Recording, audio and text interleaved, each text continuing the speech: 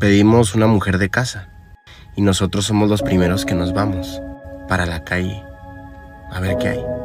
Buscamos una mujer que no tome ni fume y nosotros abusamos con los vicios. Queremos una mujer que se dé a respetar y nosotros buscamos la más fácil para pasar la noche o piropeamos a cualquier mujer que vemos.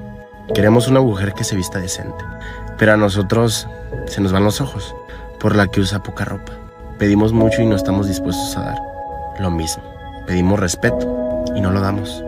Así como somos exigentes, también tenemos que cambiar la manera de actuar y aprender a valorar y admirar la gran mujer que tenemos al lado.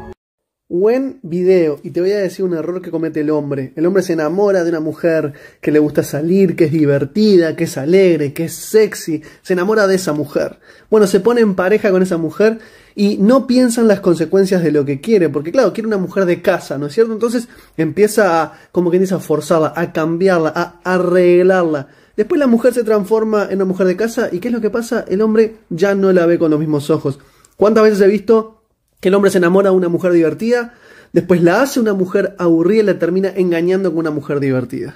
Por ende, moraleja que aplica tanto para hombres como para mujeres. Jamás cambies quien tú eres por absolutamente nadie. Y específicamente si eres mujer, jamás dejes de ser una mujer divertida, jamás dejes de ser una mujer sexy, jamás dejes de brillar porque un hombre te lo pide. Si mantienes respeto no hay ningún problema, pero si ese hombre te está queriendo cambiar, ese hombre no merece estar en tu vida. Hay que amar de tal modo que la otra persona se sienta libre. Hay que amar de tal modo que mi pareja se sienta libre. Con pilares de respeto y de confianza. No con pilares de posesión y control. Espero que ayude.